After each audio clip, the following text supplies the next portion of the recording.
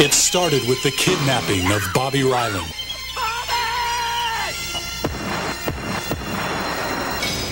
Hidden away in a secluded ranch by an illegal baby selling ring, women are held captive.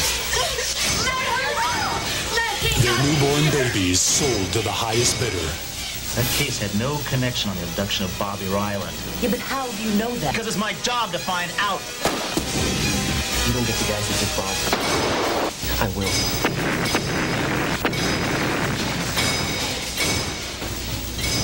The police have no leads, no clues to find Bobbi. But justice had to be done.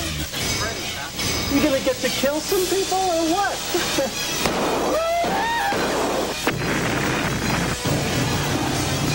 With help from a few old friends, Travis tracks down the kidnappers and leads a daring assault to rescue the innocent.